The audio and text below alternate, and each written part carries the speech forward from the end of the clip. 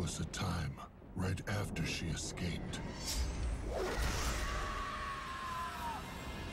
that I almost caught her. I could sense where she was. Her fear. It was so ripe. This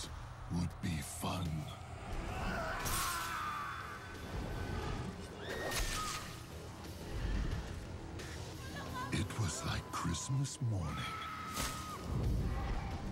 Every hallway filled with little gifts. Little, tiny, blood-filled gifts. So many of them tried to fight. I think they wanted to make it fun for me. I think they were happy for me. Looking back, I'm so glad I decided to take the stairs.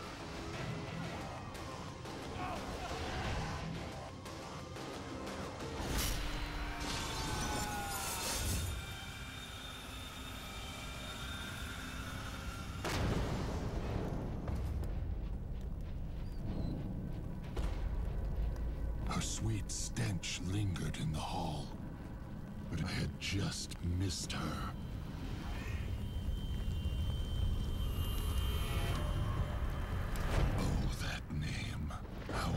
Hated that name. Say cheese, cheese. It reminded me of how I hated him. How I hated being him. His stupid little life. That stupid little job. It took me years of screaming and clawing and breaking him down. Years of calling out to him, trying to get him to set me free. But he was such a coward. Then one night it happened. One night I called. And he answered. And after I got him to carve me, I killed him.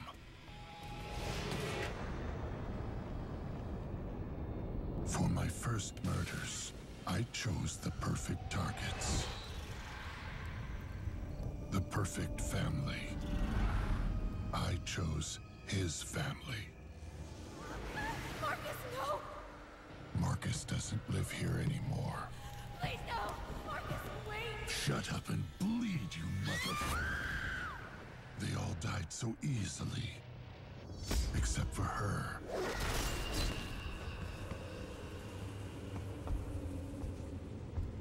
She was a surprise.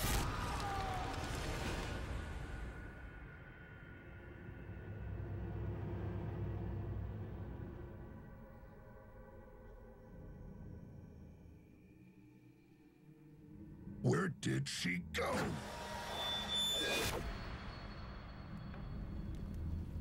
I'll find her.